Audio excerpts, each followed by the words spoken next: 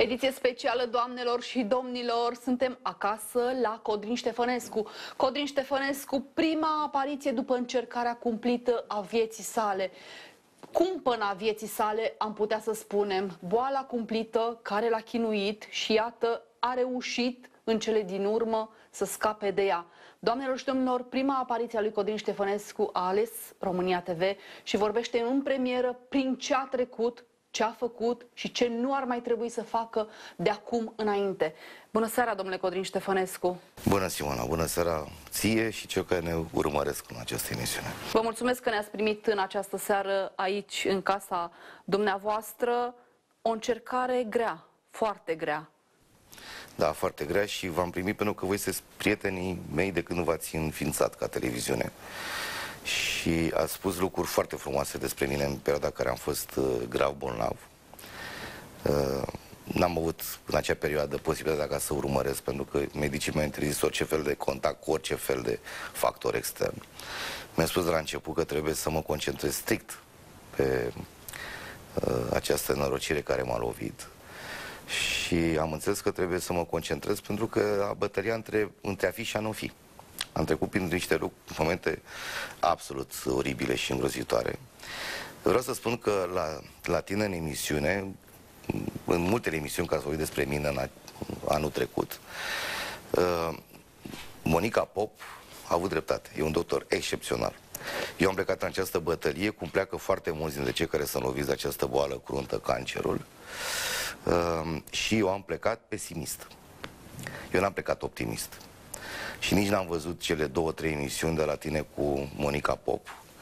Uh, mi-au fost transmise cu mult după, când am putut totuși să uh, vorbesc la telefon, să țin legătura cu cei din, dintre prietenii mei și din familia mea. Da, este corect ce a spus. Eu am plecat în această bătălie cu șanse minime pentru că am plecat pesimist. Adică în momentul când uh, am aflat verdictul, uh, mi-am dat seama că n-am nicio șansă, zero șanse și m-am înșelat după cum se vede, sunt, uh, sunt viu. Încă nu total refăcut, mai am câteva luni de zile să mai iau anumite vitamine și ce mi-au recomandat medicii, dar sunt, uh, sunt refăcut. Um, Trebuie să le spunem oamenilor un cancer de colon descoperit la timp, nu? Da. Pentru că norocul. ăsta a fost norocul. Sunt mulți care îl descoperă târziu și nu mai au nicio șansă. Care au fost simptomele și ce v-a făcut să vă îngrijorați? Pe, în primul rând, am început să slăbesc foarte mult. Țin minte ziua mea de naștere în decembrie 2022, deci acum un an și puțin. Am făcut-o împreună cu Ana Maria Prodan, o prietenă de-a voastră, a televiziunii, pentru că suntem născuți la o zi distanță unul de altul. Și am avut foarte mulți invitați, eu au fost foarte mulți jurnaliști, ați fost ca de acasă. Uh, mie mi s-a făcut rău în timpul acestei petreceri. Și am rugat-o pe Ana Maria fiind foarte mulți invitați și foarte mulți jurnaliști prieteni prezenți și foarte mulți lăutari și foarte mulți artiști care au venit să ne serbeze, să-mi țină locul și să facă în așa fel încât să nu observe că eu am plecat. Și am plecat de la... Atât de rău? A, de ziua mea de naștere, la, la adică... ora 10, eu am plecat în secret printre o mie și ceva de invitați câți erau acolo. Și am, m-am dus de la spital. Deci a fost primul, primul simptom. La 12 noaptea când s-a cântat la mulți ani și au venit și torturile care le-a comandat Ana Maria în stilul ei mari, gigant pentru ea și mai micuț pentru mine, așa eu eram deja în primele analize la ora 12 noaptea și m-au ținut până la 5 dimineața. Primul verdict a, a venit a doua zi. Medicii de aici, foarte buni de altfel, au avut uh, clar Uh, cam ce mi se întâmplă ideea, mi-au explicat, până am făcut un set de analize mai complet, am început zi după zi să-mi pierd uh, uh, pofta de mâncare, cheful de viață în general. Și să simt că ceva nu este în, în regulă cu mine. Și norocul este că acest lucru l-am descoperit la timp, nu chiar în fază incipientă, să zic de gradul 2 incipientă, ceea ce m-a ajutat. Uh, a fost cea mai grea bătălie pe care am în viața mea. După cum bine știi, și la voi la televiziune, Eu am fost printre primii care deschis, de exemplu, subiectul cu statul paralel, când erau la putere.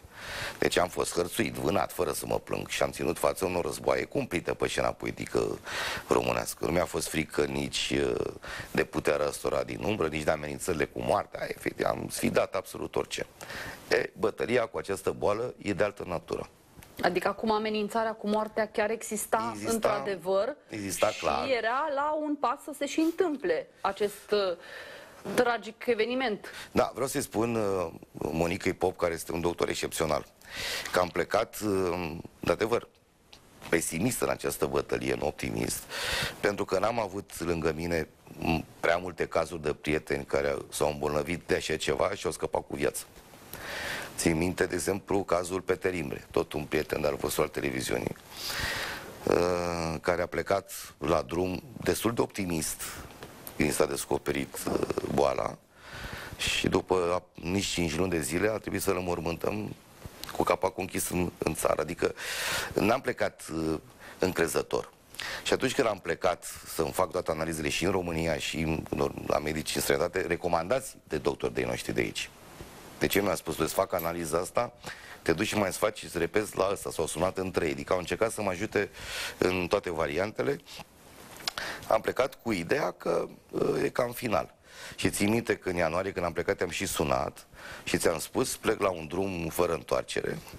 M-am ocupat în țară să-mi las... Nu am crezut atunci. Da, lucrurile adică punct. nu am crezut că lucrurile sunt atât de evoluate și pericolul este uh, atât de mare. Am conștientizat asta când, trebuie să mărturisesc, m-ai sunat din străinătate și mi-ai spus că e foarte grav. Da. Vreau să mai spun un lucru pentru toți cei care Doamne ferește, vor fi loviți în viitor de această boală sau care au trecut prin această boală, că sunt trei elemente esențiale pentru a învinge. Deci boala poate fi învinsă, iată, iată dovadă. În primul rând, ce spunea Monica Pop, să pleci optimist și, Psihicul, da, contează da, psihic, foarte mult. Și să fii hotărât să uh, lupți. Sigur, pentru unii contează foarte mult și rugăciunea, e o putere uh, senzațională care ți-o dă. În momentul când, când te rogi, te rugai Eu, eu m-am rugat, Dumnezeu m-a rugat neapărat pentru mine, adică am fost, uh, exact cum spune Biblia, nu mi-am asumat, dăm, Doamne, mie uh, energia și fă bine. Nu. Am spus, dăm, Doamne, o amânare, că totuși am niște copii, iar ăsta mic are șapte ani jumate. Mai trebuie puțin timp. O să mă duc, dar nu chiar când încă au nevoie de ajutorul meu. Mai da, simțeai în acele momente că te duci? A fost momente în care ai simțit că te uh, duci? Da, a fost un moment în care am fost uh, și hrănit artificial, adică au fost. Dar totul, toți medicii spuneau este sub control. Ei îmi spuneau că astea trei lucruri, trebuie să fii optimist, să vrei să lupți cu această boală. Tehnologia de azi îți permite foarte mult, dar îți permite foarte mult dacă uh, pleci optimist, cu dorința de a lupta și dacă ai încredere și, nu știu, în îngerul tău păzitor și în faptul că Dumnezeu le așează pe toate, dacă ai încrederea asta, nu trebuie neapărat să te rogi din minut în minut, adică să exagerezi. Pur și simplu spui, Doamne, mi-a dat această încercare, o să lupt, o să fac tot ce este posibil ca să supraviețuiesc, pentru că și viața este o încercare. Dacă toate lucrurile astea ți le asumi, tehnologia de astăzi te ajută și s-a dovedit că, uh, că te ajută.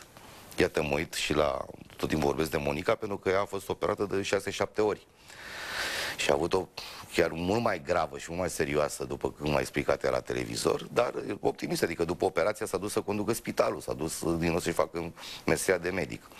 Am cunoscut în această perioadă foarte mulți oameni bolnavi de așa ceva și am văzut că foarte mulți reușesc în cazuri mai grave să învingă boala, să aibă o viață normală, super normală, fără niciun fel de de, de probleme. Sunt și mulți care nu reușesc să treacă de această boală? Este, pentru că pleacă, au plecat ca și mine la drum cu testamente, cu pesimism și cu ideea... Cum ai plecat că... cu testamentul făcut? Adică da, sau... când am plecat uh, la uh, analiza, că m-au trimis medicii în România să-mi fac o analiză suplimentară, colo și colo, am chemat avocatul și am făcut uh, totul, am stabilit pentru copii ce trebuie să facă. Andra fi mai mare să aibă grijă și de cel mic, adică am făcut absolut tot. Ai lăsat și detaliile unei tot eventuale detalii, mormântări? Detalii cu totul, inclusiv cum mi-a lăsat mie tata, să s-o dignească, tata mi-a lăsat nu testamente, ci bilețele testament pentru fiecare lucru. Și ce asta va fi scris în ele? nepoatei mele, asta trebuie să continui să faci și eu ce, trebuie să-mi publici mai departe catalogul la care am lucrat împreună de cartofilie, trebuie, adică mi-a lăsat, uh, așa am lăsat și eu. Absolut tot. Deci, eu când am plecat lăsând lucrurile astea, vă dați seama că eram predat. Iar medicii au fost cei care m-au ajutat să uh, îmi revin prin explicații. Bă, băiatul, e un medic în România care a avut foarte multă grijă de mine și un ce care a avut această boală, la fel ca și Monica Pop. Nu îi spun numele, de unul dintre oamenii foarte importanți, la care se duc oamenii cu speranță. Și a zis, domnule, nici măcar nu mi-a recidivat. Am avut-o, am dus-o pe picioare, uite cum am procedat și așa mai departe, adică m-am dus la lucru, am fost super optimist și mi-am impus să lupt până la capăt. Bă, în caz că pierd, pierd, da, bă, da, sunt, am obligația să lupt până la capăt. Ce este groaznic este că în momentele astea când știi că ești aproape de moarte și la Revoluție nu am simțit acolo pe baricadă, la fel ca și cei din generația mea. Deși și erau gloanțele pe la ureche. Și erau gloanțe pe ureche și cădeau lângă noi ca spicele. Și pe unii îi căram noi, crezând că sunt răniți și deja îi muriseră în, în picioare. Acolo moartea era fulgerătoare, adrenalina era foarte puternică, ura noastră față de sistemul comunist era absolut aproape de infinit. Ne asumasem lucrul ăsta și pentru foarte mulți dintre cei care au murit și la Timișoara și în București în timpul Revoluției au, au murit instant. Cei care au fost răniți au scăpat cu viață până la urmă, da, s-a murit instant. Aici, în cazul ăsta, nu e o bătălie politică, o bătălie cu oameni fără caracter, cu statul paralel, cu structuri subterane, cu amenințări. Aici e o bătălie clară în care știi foarte bine că nu ai decât două variante. Învingi sau mori. E, în momentele alea vreau să zic că N-am crezut că moartea poate fi simțită. Știi că pe vremuri când făceam emisiuni de cultură și cu alții am deschis subiecte de genul ăsta, am avut emisiune uh, în tipăriturile vechi care le vezi aici, moartea ca entitate și ceea ce au scris și ce se întâmplă cu omul înainte noștri, de moarte, da? ce simte înainte da, de moarte? Da, în medievală au fost oameni foarte importanți, cum a fost Boden, care a făcut, a scris discuționul Macicaru și a vorbit cu oameni care uh, au fost ori în comor, au fost pe patul de moarte și au revenit și au văzut și care a fost, uh, este exact ce spun unii dintre ei. Deci, pe doamna Cucoasa, la un moment dat o simți. La începutul uh, bolii mele uh, aveam vaga impresie că mă pândește, dar nu era, să zic, perceptibilă această impresie. Cu cât am evoluat și eram mai pesimist, am început să o simt că este prezentă, nu știu, noaptea. Am început să am insomnii pentru că parcă simțeam că e prezența asta. Uh, trebuia adică te trezeai cu teama că poți muri în acele nu, nu, momente? Teama că e la, cu, cu tine în încăpere. Asta este teama. Faza 3, pur și simplu, o simți că este prezentă. Și faza 4, ca metaforic, pur și simplu doarme cu tine în pat, adică prezența este, este clară. Și moartea nu este crudă și urâtă și hidoasă, așa cum se spune, așa cum se spun în cărțile sfinte. E dulce, îmbietoare. Îți dă de înțeles că pasul pe care îl faci pe lumea de dincolo nu este o grozăvie, că există o lume de dincolo. Așa, nu-ți explică dacă va fi sau nu judecată, adică nu simți lucrul ăsta. Dar simți, e o lume de dincolo și că e ca momentul să cedezi. Dacă în momentul ăla nu cedezi, învingi. Ai, totul este uh, o chestie psihologică. Uh, de-aia înțeleg pe medicii care m-au tratat și au avut această boală, că s-au întors înapoi la servici, ori după tratament, ori după operație, imediat și au intrat în, uh, în activitatea normală, ignorând pur și simplu această, această problemă. Și în cazul tău, cum ai învins acolo? Adică cum ai depășit acel moment crucial? A adică venit... erai cu un picior într-o parte și cu altul în altă parte, nu? Da, mi s-a întâmplat un lucru absolut uh, inimaginabil pe care mi-a scoat medicii. A venit, a venit perioada când um, eram hrănit prin tubulatură. Și uh, ei nu erau îngrijorați, nu au dat nicio pintă de îngrijorare. Mi-a spus că asta este o chestie normală, o să-mi revină din nou pofta de mâncare, trebuie să se, după anumite tip de tratament, trebuie să reglez organismul și ce mi-am dat seama că nu chiar că încearcă să mă ducă cu preșul, încearcă să-mi dea doze de optimism cu injecție de optimism. Așa. Da. Eu după 30 de ani de politică și de văzut oameni și îți fac radiografia, dacă ești canal, e mincinos sau nu, din câteva secunde, mi-am dat seama că medicii își fac meseria fără nu știu, la maxim de excepție, dar îmi ascund o parte de adevăr. Și atunci am început să cași și mai mult și cam la treia zi, când aproape nu mai aveam niciun fel de, de puteri, trebuie să spun asta, este incredibil ce să-ți povestesc acum. Uh, m-am avut așa un gând și am spus, totuși, nu poți să te predai chiar așa, Codrine, nu te-ai predat niciodată în viață, nu te-ai predat, nu poți să te predai, stai în pat întins și aștept să te hrănească și te cu o zi, două, trei și pățești ca ceilalți. Și mi-am propus să lupt. M-am ridicat din pat aproape să leșin. Așa, uh, n-am apăsat pe niciun buton unde eram internat să mă ajute absolut nimeni.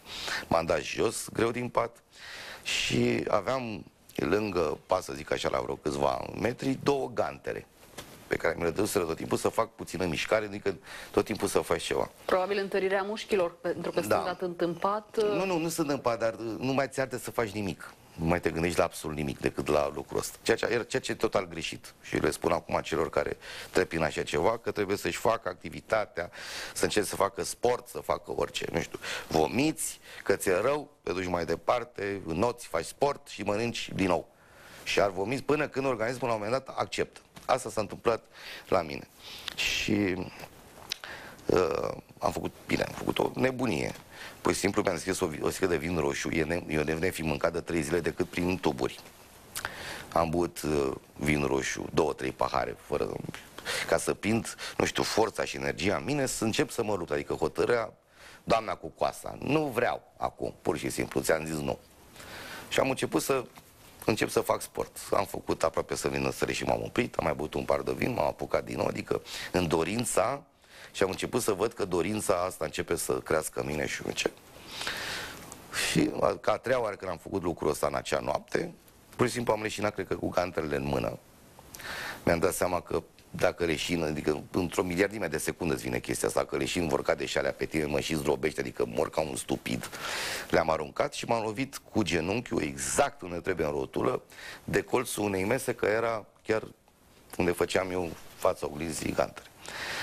Durerea nu, mi-a tasat tot absolut. Durerea a fost atât de acută încât am simțit-o în piciorul drept și în stâng, în coloană până în creier, a, atât de mare a fost durerea și a continuat, încât organismul meu, pur și simplu, creierul meu a uitat de problema pe care o am și s-a concentrat pe durerea asta acută, nu trebuie să mai stau în picioare. Și a doua zi am început să mănânc. Iar doctorul mi-a explicat, vezi că totul provine de aici? Faptul că lovitura atât de dureroasă care a avut-o și nici măcar nu intervenim, te ținem cu durerea asta. Nici măcar nu vine ortoped. Nu. Dom'le, nu pot să merg. Orice mișcare o fac, o simt până în coroană, până în măduva spinării, până în creier, durerea. Îmi vine pur și simplu să-mi tai piciorul de durere. Intervenise, umflase. Nu. Mi-a zis, nu. Pentru că acum ești concentrat la cu totul altceva și au început analizele să meargă în sus. Și mai spune și tu în viitor, dacă vreodată vei spune public treaba asta, că totul pornește de aici. Trebuie să vrei. Este celebra uh, nu, expresia unui, uh, unui genial psiholog care spunea dacă spui în cap ceva, tot universul va conspira pentru a rezolva acea să problemă. Se întâmple. Da, să se întâmple. Cam asta e.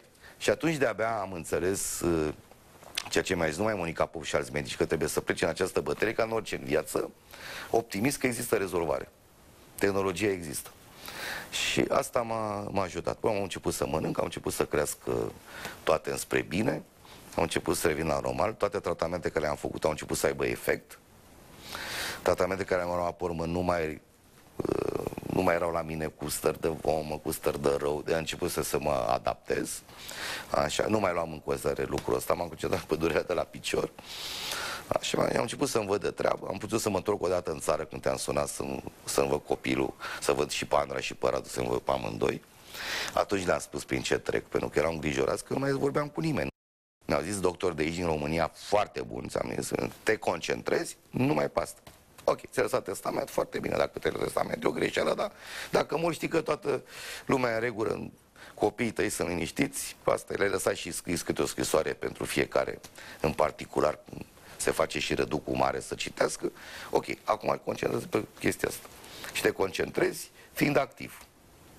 Ei mi-au zis niște lucruri pe care nu le-am făcut. Eu am închis telefonul, am închis tableta, am uitat la știri. În momentul când am început să revin și să mă uit la ce spuneți voi la televizor să încep să mă enervez, pe ce spun ăștia, că ce mint ăștia și mai departe. Adică totul a început să crească, intrasem în, în normal și am trecut de marele hop și spun ca, așa ca final despre această chestiune, a fost cea mai cumplită bătălie pe care am putut să o dau, însă m-a convins de trei lucruri foarte importante. Că mintea noastră are puteri nebănuite, că există clar o creație, un înger păzitor și este foarte clar că în momentul în care te rogi sincer și te rogi sincer fără să cere, fără să-i ceri, Dumnezeu știu tot. Fă-mă și sănătos și de o mie de ori mai deștept și bogat și nu, nu. Când te rogi pur și simplu și ceri un răgaz, să spui recunosc că oricum toți vom muri la un moment dat, da? că suntem muritori, dar dăm un răgaz când te rogi este foarte important. Am înțeles că fiecare dintre noi cred că are un înger pozitor. Asta e clar, că îl simți doar în momentele de mare cumpănă. Cum l-ai simțit? Păi până acum nici nu, să zic, nici nu credeam în astfel de lucruri. Îngerul pozitor. Ce înger pozitor? Așa că nu credeam în uh, puterile astea uh, malefice de care scria Pavel Coruț, în momentul când uh, poți să fii atacat psihologic cu flacăra mov și așa mai departe. Pe eu țin minte când mă băteam cu reziștii și la voi în emisiuni, cred că mă înjurau 300 mii odată și mă blestemau și nu am simțit nimic, absolut nimic nu am simțit. Uh, deci ne, nu credeam că am un înger pozitor. Pur și simplu era puterea și nu credeam că puterea asta mentală, concentrată, flacăra mof și te ia de la distanță. Nu am crezut niciodată în teoriile astea și se pare că sunt adevărate. Nu, nu, sunt, nu sunt reale. Real este însă că fiecare dintre noi are are un spirit, are ceva, o, o putere. Adică are... boala asta, în cazul tău, a fost declanșată și de energiile negative ale altora? Uh, de... Absolut toți medicii, Simona, mi-au spus că boala asta este numai pe stres. 98,5% mi-a zis este stres. Stresul îți distruge imunitatea, stresul. Au fost medici care mi-au dat exemple foarte coerente. Deci, hai să luăm un om de la țară care să zice dimineața, să duce la câmp, să muncească și așa mai departe, mănâncă sănătos, face efort fizic, ok. Ce stresul are el în viață, fiind o viață liniștită acolo? Păi stresul este momentul în care îi se naște un copil, că e emoția de bucurie, îi moare cineva din familie drag, părintele, bunicul și așa mai departe. Da? Și ce? O picătură, cu o picătură, unde mai are stres? În momentul când se însoară fata sau băiatul sau, doamne, divorțează, iar stres pozitiv, negativ. Și dacă iei viața unui om simplu de-a lungul vieții, hai să zic, 10 puncte, 11 puncte de stres configurativ împreună. E cum ar fi o pastilă. Păi tu în politică, bătându-te cu ăștia, ai avut 10-20 de puncte într-o oră da? cu înjurături, cu nu, remanieri, cu nebunii, cu atacuri, cu instanțe, cu și așa mai departe, cu scandaluri monstruoase, naționale, cu intervenții din străinătate care fac presiuni la noi și așa mai departe, să ții față unui hoarde. Ăsta e stresul. Și stresul tău este într-o singură zi mai mare decât a unui om care trăiește normal și își vede de viața lui. Deci tu ai trăit într-o singură zi stresul pe viață. Și dacă trăiești în fiecare zi, fiecare zi. Boala asta, mi-a zis, este declanșată de stres medicii, cum spune și Monica Pop, recunosc că aceste celule, aceste sunt, există în corpul nostru, dar nu se declanșează. Le avem. Toți le avem, dar nu se declanșează. Decât în momentul în care te-a prins pe picior descoperit cu imunitatea scăzută. Stresul înseamnă că ai gânduri, insomnii, uh, ai frustrări, uh, ai analize care nu-ți ies cum trebuie și te enervează și mai mult, uh, ai la un moment dat lipsă de uh, poftă de mâncare sau mănânci mai mult. Unii beau și beau câte o tărie și nu ce ca să-și revină să fie activi și așa mai departe. Unii fumează mai mult de două, trei pachete de țigări pe zi, pe chestia ca să-ți acoperi chestia de stres. Dar stresul roade. Și la un moment dat, imunitatea scade și te atacă cam pe unde, unde pot. Primul colonă, pentru că sistemul neurovegetiv este cel mai uh, ușor de uh, de stresat, ca să zic așa. Sunt mulți care au anxietate, depresie și unge din cauza stresului, au aerofagi. Mi-a explicat medici. De acolo pornește tot. Și de acolo, dacă sistemul este puternic și ți-a plecat tot cele nu știu, ți atacă pancreasul, ficatul. Dar mi-am spus, 99,5% dintre cei care se îmbolnăvesc și este ajuns boala secolului, inclusiv în rapoartele mm, oficiale medicale la nivel planetar. Boala secolului provin de la stres. Bine, eu nu credeam în chestia astea până nu am întâlnit. Am în România aici un medic la pensie, care a fost unul cei mai mari medici din România de la Spitalul Militar, care m-a întrebat așa, mi-e prieten de 30 și ceva de ani, deci după Revoluție, de când eram un puști. Om a fost prieten și cu tata. Și spune, băi, Codrine, de câte ori râs tu? Zic, ce, acum este anii ăștia. Nu râs de glumele poetice și de gafele făcute de alții. Râs înseamnă câțiva prieteni care vă zice seara, vă strângeți la o parte de de remi, beți un par de vin, faceți glume de tot felul de ochiate, împreună cu soțiile, cu nu știu ce, nimic legat de... Păi că glume simple. De câte ori te-ai întâlnit cu prieteni sinceri și nu cu oameni de partid sau cu adversari cu care te prefaci că totul este în regulă și ei mese care stau în gât și așa mai departe. Nu cu prieteni. Nu știu, prietenii tăi din școala generală, din facultate, de, nu știu, din liceu și așa mai departe. Deci n-ai făcut-o. Oamenii nu mai fac lucrul ăsta. Și neavând unde să uh, îți descarci tot acest stres, stresul descarcă prin relații foarte bune în familie, uite cum este masa de Paște în care acum am chemat pe toți. Adică fac lucruri acum pe care înainte nu le făceam. Au fost foarte uimiți.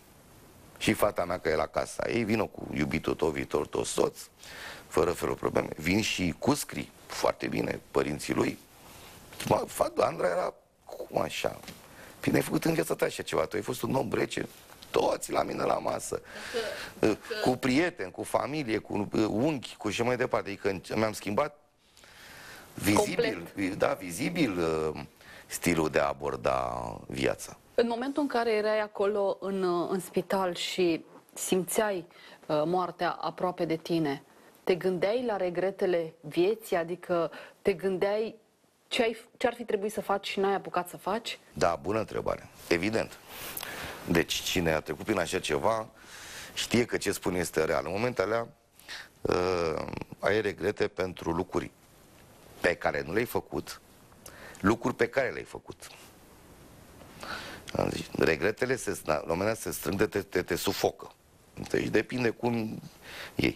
Regretul că nu ai acționat în anumită circunstanță și puteai să schimbi viața și a ta și a tuturor din jur. Regretul, de exemplu, eu am avut regrete că am putut să promovez de-a lungul timpului niște oameni care s-au venit a fi canalii, deși știam că sunt lipsite de caracter.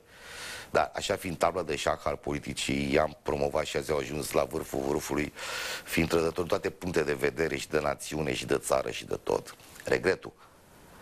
Și regretul este pentru că în momentul ăla te zero pe pixul tău, dacă spuneai doar da sau nu la ședința cu tare, ăla ajungea, nu știu, vânzător la un magazin, azi a ajuns mare super șmecher.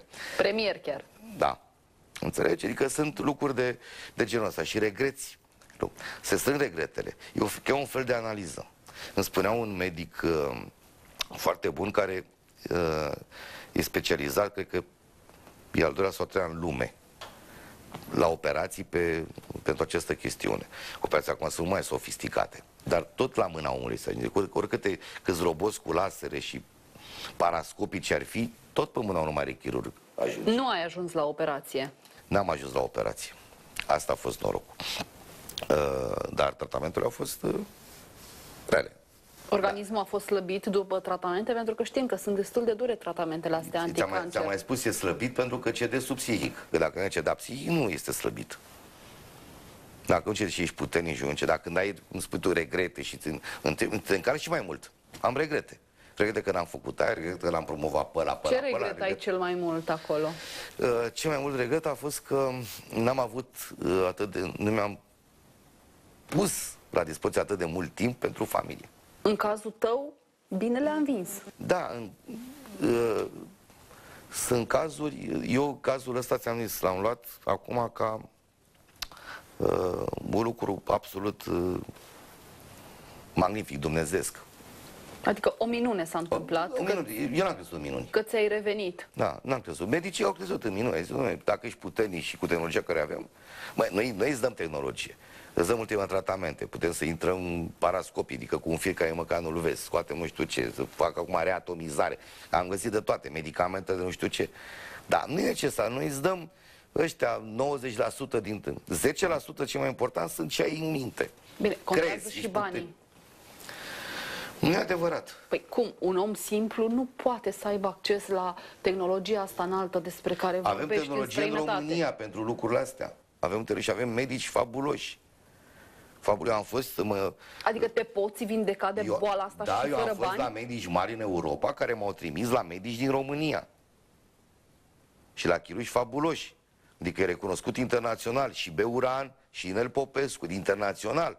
Adică eu am cunoscut medici la care se ajunge greu și fițe, da, prieteni m-au dus și la Viena și în Elveția și, și mi-au spus, bă, aveți în România uh, unul dintre mari chirurgi și mari specialiști care scrie anual în revistele medicale internaționale chestii noi pe care noi le învățăm și încercăm să le punem în practică.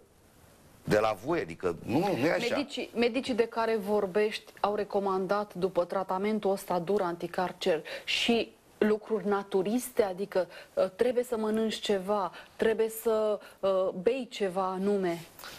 Toată lumea recomandă chestii naturiste, dar toată lumea recunoaște că nu mai sunt naturiste că pământul este plin de stronțiu și așa mai departe, indiferent în ce zonă, că toate preparatele sunt acum cu o grămadă de chimicale și, și mai au fost medici care mi-au spus, domnule, organismul se adaptează și la lucrurile astea. Trebuie să mai mănânci puțin bio, nu totul bio, că nu există.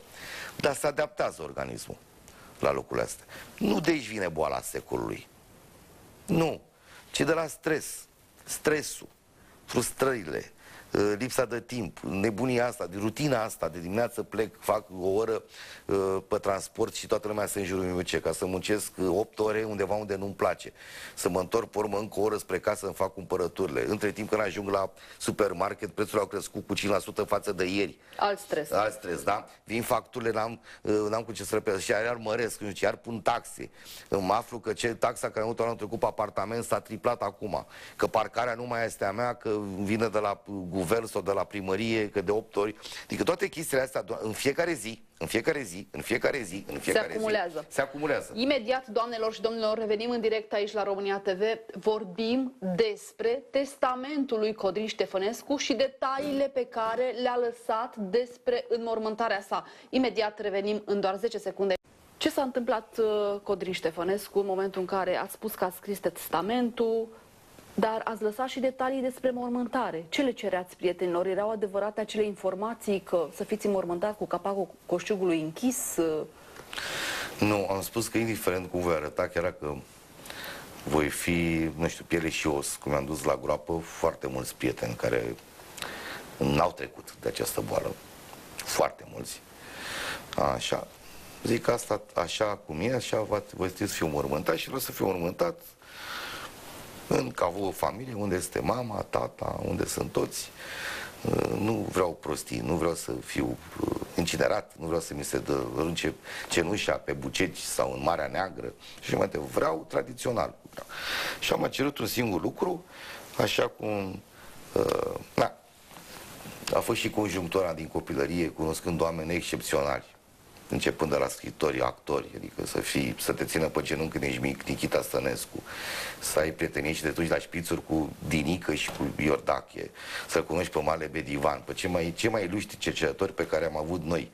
George Buzungan, care a scris catalogul internațional de uh, numizmatică, Valentin Barbu, cel mai mare specialist în filatelie, cu Silviu Dragomir am scris până acum, am publicat noi împreună patru catalogi internaționale de cartofilie și de istoria uh, tipografie și litografiilor în cartofilie. Toți oamenii ăștia, mulți dintre ei s-au prăpădit, s-au prăpădit având la mormântare și eu niște lăutari. Și ai lăsat așa și în testament? Lăsat, da, da, și am lăsat acest testament și am scris melodia care mi se cântă imediat după slujba din fața mormântului, până la final, până se pune pământul, este deschide gropare mormântul. Și am dat și numele lăutarul care trebuie să, uh, să vină. Adică, credem, am plecat foarte pesimist. Adică mi-a dat în calcul absolut, absolut tot. Uh, șoferului meu, că eu n-am carnet, pentru că sunt anti-șofat, mi-au zis din, din tinerețe că să nu cumva să-mi iau carnetul, că sunt, voi fi un pericol public. Șoferul meu e de vârsta mea, tot de crețel și mi este prieten din copilărie, din clasele, din clasele primare. Inclusiv lui am lăsat ce trebuie uh, să facă și așa mai departe. Deci am lăsat totul la punct, plus niște scrisori personale pentru fiecare copil să citească între patru ochi. Asta cu, dacă uh, nu înving în această bătălie, așa, vreau să fiu următat odată cu familia acolo la Belu, la capela noastră, din Moși Strămoși, cu capacul deschis, indiferent cum o să arăt, cât o să rezist, ca să vadă lumea că am luptat până la capăt, chiar dacă se vor speria. Așa, nu vreau cu închis și cu palton de flori deasupra. Pur și simplu, să vadă lumea, să uite mai mult în poze, uite cum era Codrin bine, așa, în obraj și uite, eu acum cum am următat, adică și discrepanța asta nu m-a ferit. Și după ce se pune capacul și mai lopat, până când s-a pus pământul deasupra și placa, lăutarii cântă, le-am dat două melodii. A doua care era? A doua nu o spun. Va fi șocantă. Da, dar asta dintre deschide grovare mărunt este una dintre, uh, dintre ele. Da, deci n-am plecat uh, deloc, uh, recunosc, Monica au dreptate. N-am plecat optimist în bătălia asta. Și am greșit. De-aia și spun această emisiune că cei care trebuie în așa ceva trebuie să fie foarte încrezători pentru că puterea minților este, reușește să-i ajute pe medici. Deci medici avem buni și în România și tratamentele sunt, medicamentele sunt foarte bune, tratamentele din România sunt foarte bune, că nu diferă cu cele de dincolo, am văzut cu ochii mei. Deci psihicul contează, psihicul stresul, contează, eliberarea de stres, eliberarea de stres și lupta. Adică în, în momentul când ai această boală, trebuie să începi să te întâlnești cu prietenii, să râzi, să glumești. Dacă îți dau voie doctorii, da, să mai bei și un par de vin, uh, cu ei să te la filme care să te fac să râzi cu lacrimi până la urechi, să întâlnești cu familia, să discuți orice altceva în, această, în această boală și începe să te estompeze și tratamentul pe care te ajută medicii, să te rogi, dacă ai această credință,